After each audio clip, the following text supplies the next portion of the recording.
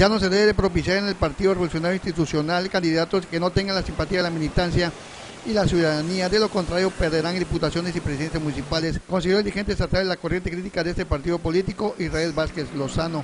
La selección de candidatos que se ha llevado dentro del proceso que nos ha llevado a, perder municipios como son Carrillo Puerto, José María Morelos, Lázaro Cárdenas de Cancún fue por la, mal, la mala selección de candidatos que ha tenido el partido. Yo creo que ahorita en estas nuevas elecciones que se van a llevar a cabo, debemos escoger a la, gente mejor preparado. Repito, como digo desde el principio, que tenga el mejor arraigo, la aceptación dentro de la ciudadanía y de la militancia priista para llevar que Lozano señaló que en el mes de marzo se instalarán los comités de procesos internos para la selección de candidatos en los municipios luego de que los periodistas del Estado participen en la Asamblea Nacional de su partido, en donde fijarán los requisitos para los periodistas que quieran participar en los procesos electorales de este año. Fue Sergio Espinosa para Notivisión, Juan Juárez Maus.